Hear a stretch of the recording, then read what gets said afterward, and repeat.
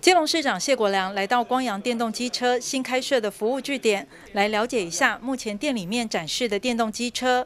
这两款电动机车都是未来要配合青年公益电动机车的专案车辆，相当吸睛。市长也向媒体说明目前最新进度。我们主要的啊基隆青年免费电动机车啊也是跟他们合作，所以我们也托他了在这边要来协助处理。未来的相关车辆的申请，那也做一些机车的展示。那当然，我们也会规划在人潮地点做一个综合的青年公益免费电动机车的一个展示区。好，那我们这部分都在紧急密紧锣密鼓的规划当中。那有确定的地点，就会马上跟大家宣布。另外，我们跟啊，包括中华汽车跟光阳汽车。的这些伙伴们，我们也每个礼拜都在开会讨论充电站的建制，因为未来如果很多年轻朋友来申请，不只是车的问题，主要还是有电的问题。那这一方面也感谢台电在这方面都有给我们协助，现在都积极在啊申请这个充电站，然后在部件换电柜跟充电桩。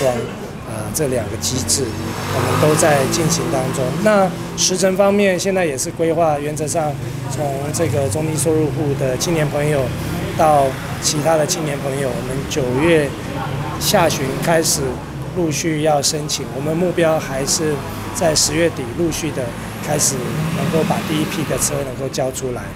那嗯，大家都可以看到，它有两款 i One 啊，跟这个 S 六，那他们。的月费从几百块到一千块左右，那我我鼓励青年朋友做自己的选择。如果是自己长期又希望月费便宜一点，那目前是有五百九十九元的月费可供选择。那当然这是绑约的，就好像跟市政府有绑公益约一样。就是在它两台里面，我个人会推荐，如果我们的青年朋友是比较常自己骑的话，是我会建议骑 i one，因为 i one 的月费也比较。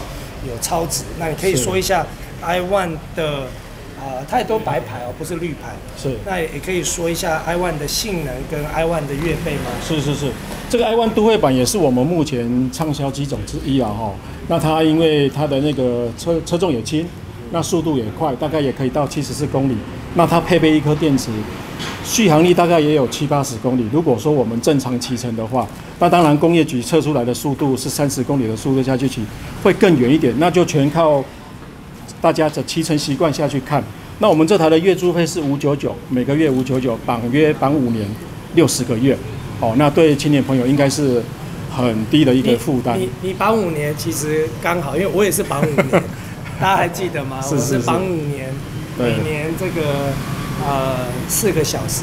那过去曾经大家以为讨论说是不是要做完五年才有没有啦？我们现在都很清楚了，是拿车是可以马上拿哦。但是我们希望这个公益是能够做五年。那他们刚好绑月费绑五年，所以我们呃刚好的公益的责任期也就是五年。有有这台，我觉得这台还还不错啊。青年朋友如果每个月想省个几百块，其实。